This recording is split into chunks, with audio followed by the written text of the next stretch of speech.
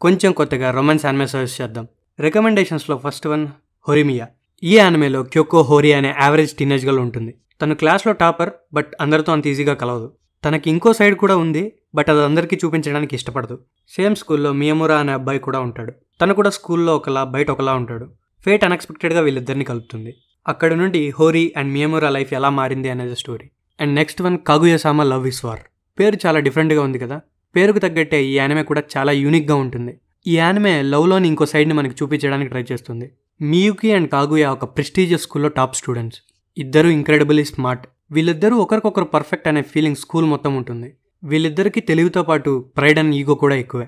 So ఒకరి మీద ఒకరికి లవ్ ఉన్నా కన్ఫెస్ చేయరు.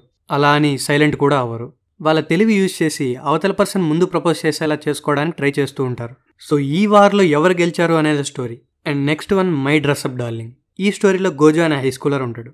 మన గోజోకి హినా డాల్స్ చేయడం అంటే చిన్నప్పటి నుండి ఇష్టం. కొన్ని రీజన్స్ వల్ల డాల్స్ తయారు చేయడం తనకి ఇష్టమని ఎవరికి చెప్పడు. యూజువల్గానే సైలెంట్గా ఉండడం వల్ల తనకి స్కూల్ లైఫ్లో ఫ్రెండ్స్ ఎవరు ఉండరు. He lives alone with his insecurities.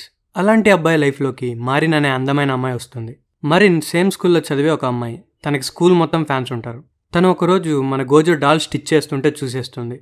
చాలా ఎగ్జైటెడ్గా గోజోకి తన కాస్ప్లే పిచ్చి గురించి చెబుతుంది. అక్కడి నుండి గోజో లైఫ్లో తను ఎన్ని చేంజెస్ తీసుకొని వచ్చింది అనేది story. This is my personal favourite.